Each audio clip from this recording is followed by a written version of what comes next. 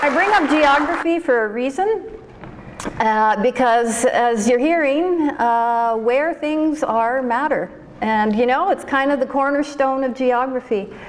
And it's also why I teach, I'm fortunate enough to teach a wine geography course at UBC.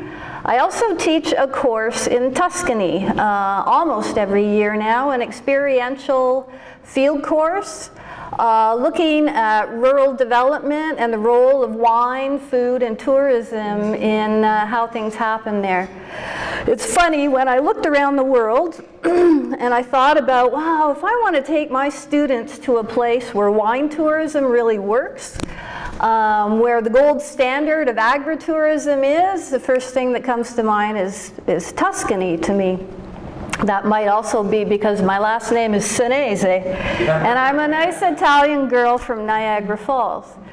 So this is where my observations have come from. Uh, both my experience in the Okanagan, my experience growing up in Niagara, Canada's other wine region, and now my experience teaching this really wonderful course in, uh, in, in Tuscany.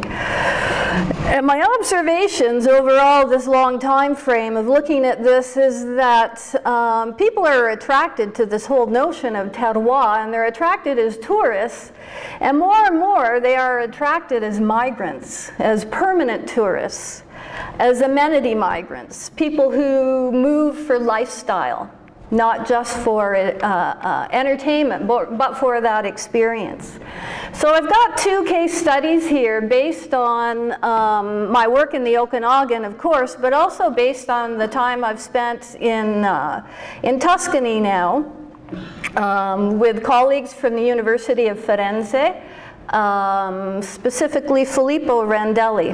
So I, I throw up these maps because I was sure that no one would know where the Okanagan is, but thank you Greg again because he introduced uh, Canada's desert wine region to you earlier in the week and, and Tuscany of course. Now, the course that I teach in Tuscany um, is rolled out uh, at a place called Castello Sonnino in Montespertoli, uh, Tuscany. It's about 20, 20 kilometers south east east, west of Florence. It is a working uh, winery, uh, olive orchard, farm. It's also a historical site. Um, we have formed out of a relationship of putting these courses on over the years uh, uh, something that we're calling a working group with Filippo, several other Italian colleagues, some German colleagues, and my North American colleagues, because we all found this real interest in, you know, what is it that terroir does for um, the education of students, for rolling out rural development, and um, how can we improve upon it around the world. So this paper in particular is three members of, uh, uh, is coming from three members of our working group, and I'm really pleased to be working uh, with them.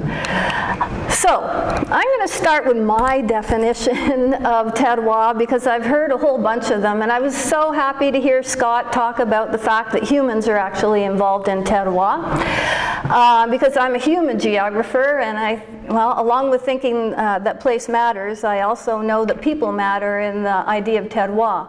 So I've borrowed here from Tim Unwin's use of the term in the Geography of Wine textbook from a few years ago. Uh, based on a UN kind of working definition of terroir that was created in order to get a really multidisciplinary group of researchers together and agree on what at least a few key elements of terroir are. Now explain this because it's going to be important in terms of what I tell you about uh, shortly. And the first thing that everyone degree, uh, agrees on is that, uh, here's the geography again, it is delimited geographic space a key element here. And that space is both living and innovative. Second, there are both environmental, natural factors, and there are also human factors. And I think we agree on that uh, in this room as well. And thirdly, especially, this is especially important for the tourism product, typicality, authenticity is based on that geographical delimitation. The quality of the product, the uniqueness of it, is based on that delimitation. So anything originating in that geographic space, the authenticity and the quality of it is based on the geographical delimitation. So drawing borders around things becomes really, really important. Okay, so remember that in a few minutes. So how do we get from terroir in the vinicultural sense of the word, to terroir tourism.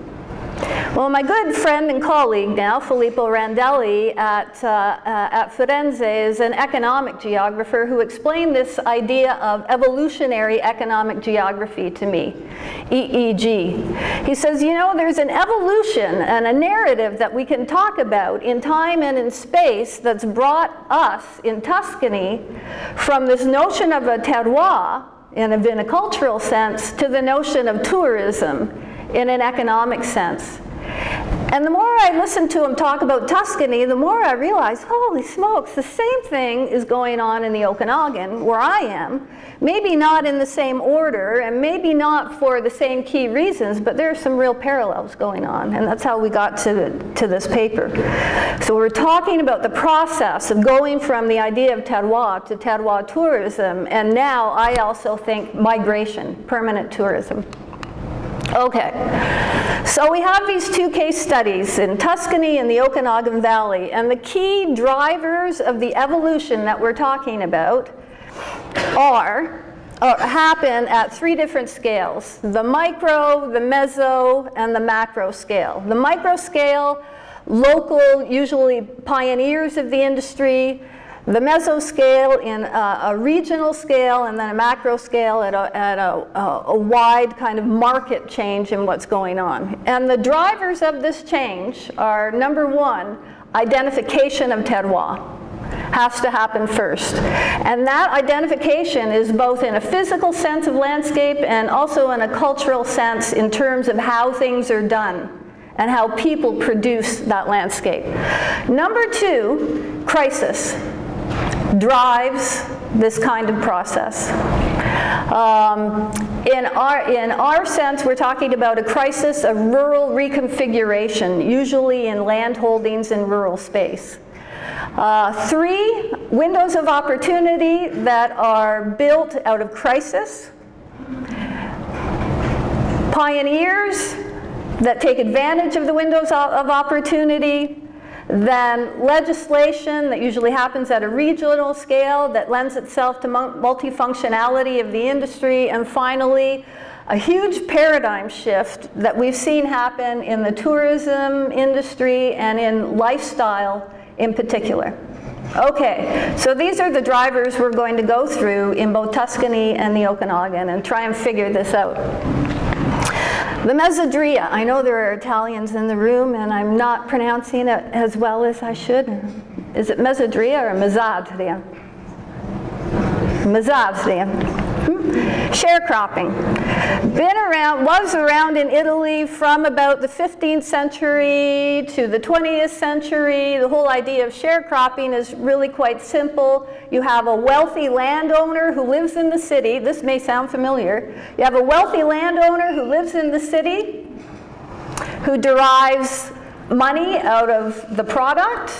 You hire a whole bunch of farmers to farm the land on small parcels of land, and in return, the small farmers get a home, the Casa Colonica, and they get food and they have an income based on those small, small parcels of land. Oh, that didn't come out well at all.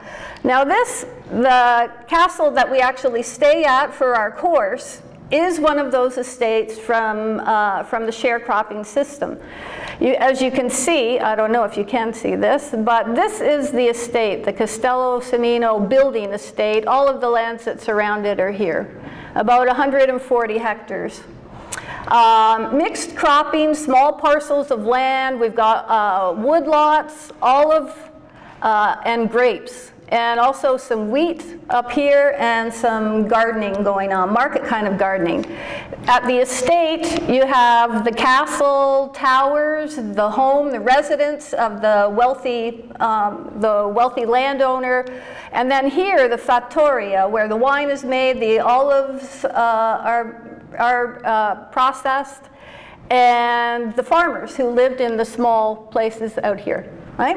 Okay. So the, uh, the sharecropping system ended in the post-World War II era. Now the important thing about this was the crisis that it created as the farmers left the land and deserted thousands, literally thousands of these houses.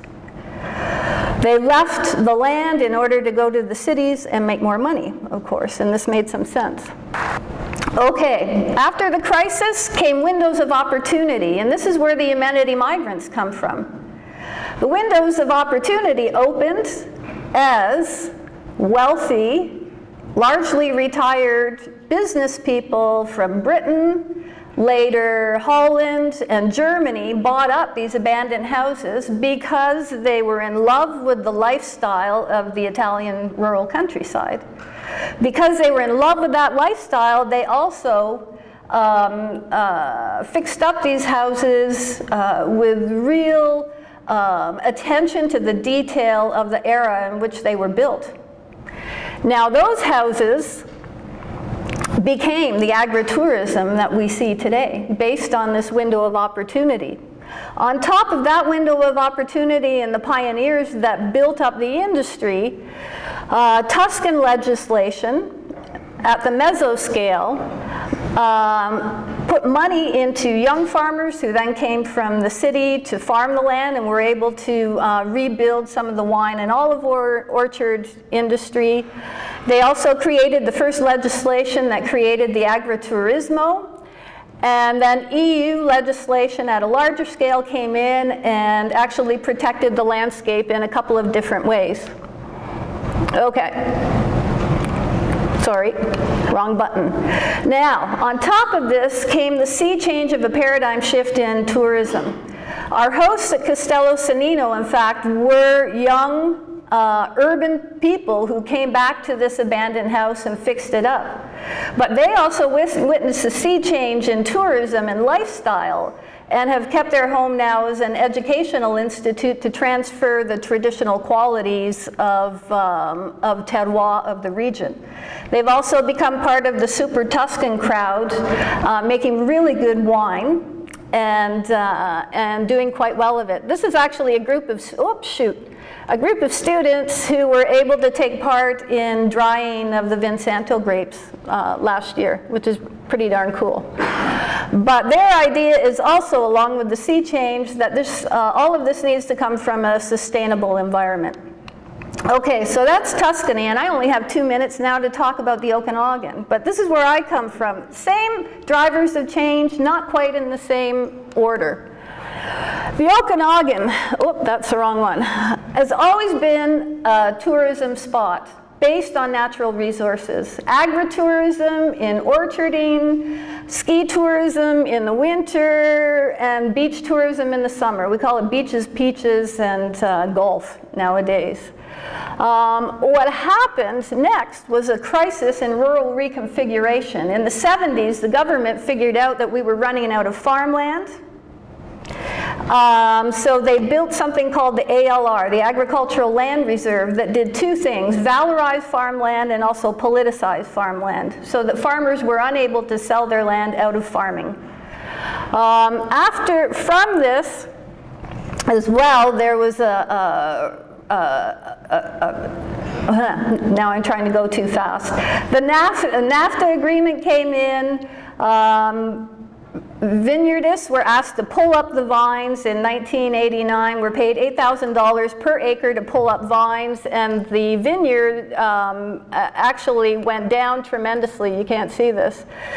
In 1990, there were only 1,000, 1,500 acres of grapes. We're now up over 10,000. So out of this crisis came the resurgence, as you can see, of the wine industry. Today, the wine tourism industry leads, I'll go to the next slide, leads in terms of economic performance, and Andy Bwengi has told us, in fact, that there's over-reliance on tourism here.